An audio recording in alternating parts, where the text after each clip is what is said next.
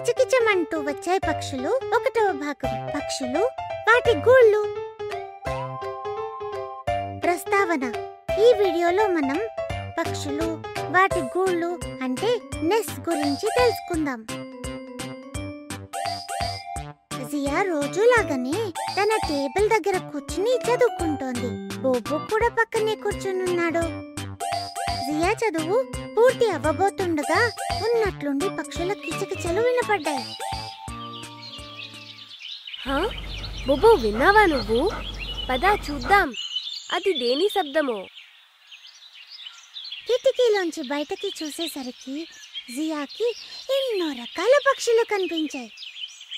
ఓ ఇక్కడ ఎన్ని పక్షులున్నాయో? ఇంకా చెట్టు పైన ఒక పక్షి గూడు కూడా ఉంది. సరిగ్గా అప్పుడే జియా వాళ్ళ తాతగారు గదిలోకి వచ్చారు. తల్లి జియా ఏం చూస్తున్నావు? నేను బయటున్న పక్షుల్ని చూస్తున్నాను తాతగారు. కాస్త నన్ను కూడా చూడని. తాతగారు కూడా కిటికీ నుంచి బయటకి చూశారు. జియా ఇదెంత అందంగా ఉందమ్మా. మా ఇంటి దగ్గర కూడా బోలెడు పక్షుల గూళ్ళున్నాయి.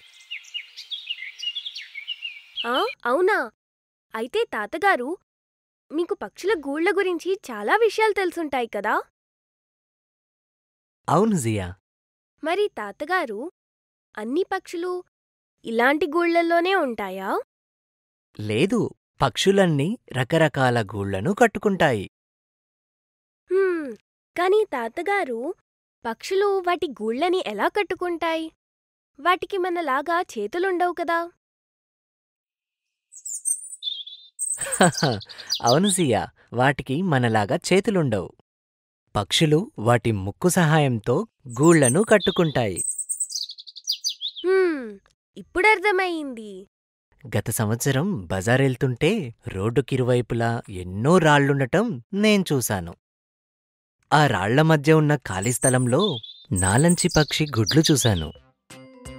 మీరు ఎప్పుడైనా నాలంచి పిట్ట అంటే ఇండియన్ రాబిన్ చూసారా?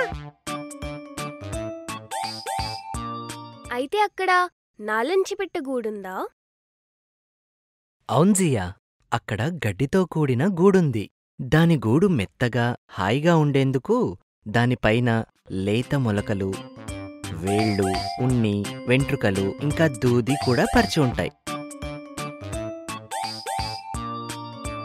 మరైతే పక్షులన్నీ మెత్తని వస్తువులతోనే గూళ్ళు కట్టుకుంటాయా? లేదు జియా కాకులు అంటే క్రోస్. వాటి గూళ్ళ తయారీలో కట్టిపుల్లలు ఇంకా ఇనపతీగల్ని కూడా వాడతాయి. అంతేకాదు అవి తమ గూళ్ళని చెట్ల మీద చాలా ఎత్తైన కొమ్మల్లో కట్టుకుంటాయి. నీకో విషయం తెలుసా జియా? కోకిలైతే అసలు గూడే కట్టుకోదు. మరైతే అవి గుడ్లు ఎక్కడ పెడతాయి? కోకిల గుడ్లు ఎక్కడ పెడుతుందో మీకు తెలుసా?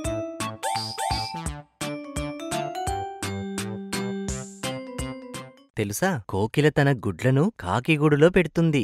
కాకులు తమ పిల్లలతో పాటు వీటి పిల్లల్ని కూడా పెంచుతాయి. ఆ? ఏంటి?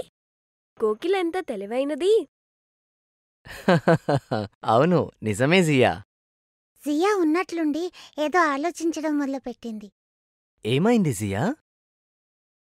తాతగారు మీ ఇంటి బాల్కనీలో అయితే పావురం యొక్క గూడుంది కదా? అయితే తాతగారు పావురం మనింటిలోనే దాని గూడు కట్టుకుంటుందా? పావురాలు అంటే పిజియన్స్ మన ఇళ్ళలోనే వాటి గూళ్ళు కడతాయని మీకు కూడా అనిపిస్తోందా? అప్పుడప్పుడు జియా కాని పావురాలు ఎక్కువగా తమ గూళ్ళను పాతబడ్డ ఖాళీ స్థలాల్లోనే కట్టుకుంటాయి. అదేవిధంగా పిచ్చుక అంటే స్పారో కూడా తన గూడుని ఎక్కడ పడితే అక్కడ కడుతుంది. అంటే అల్మారా పైన అద్దం వెనక ఇంటి తలుపుల సందుల్లో అలాంటి ప్రదేశాల్లో అన్నమాట. అద్భుతం! అయితే మనం వాటిని రోజు చూడొచ్చనమాట అవును సియా వాటిని చూడొచ్చు. కాని మనం వాటిని విసిగించకూడదు. జియా వేలాడే గూడు కూడా ఒకటుంది. సూర్యపక్షి. అంటే సన్బర్డ్ అనే పక్షి దాన్ని తయారు చేస్తుంది. వేలాడే గూడా? అదెలా ఉంటుంది? వేలాడే గూళ్ళ గురించి మీకు తెలుసా? అవును జియా సూర్యపక్షి వేలాడే గూడును కడుతుంది.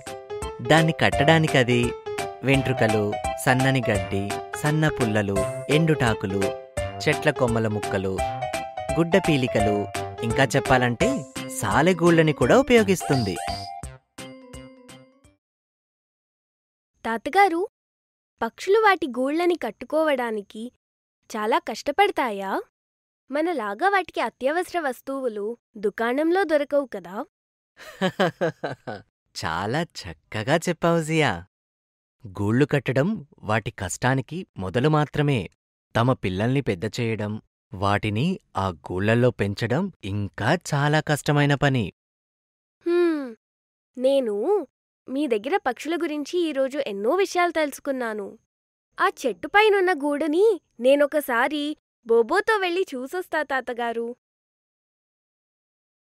తప్పకుండా జియా. వెళ్ళి చూడు కాని వాటిని విసిగించకూడదు సుమా. సరే తాతగారు. పద బోబో. మనం వెళ్ళి బయటున్న పక్షి గూడుని చూసేసొద్దాం. రియా ఇంకా బొబ్బు పక్షిగూడు చూడడానికి బయటికి వెళ్ళారు. సారాంశం ఈ వీడియోలో మనం పక్షులు వాటి గూళ్ళ గురించి తెలుసుకున్నాం.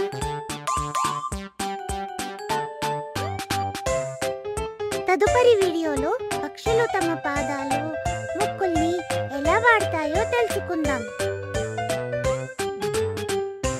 వివిధ జంతువుల పళ్ళు ఎలా ఉంటాయో కూడా చూద్దాం.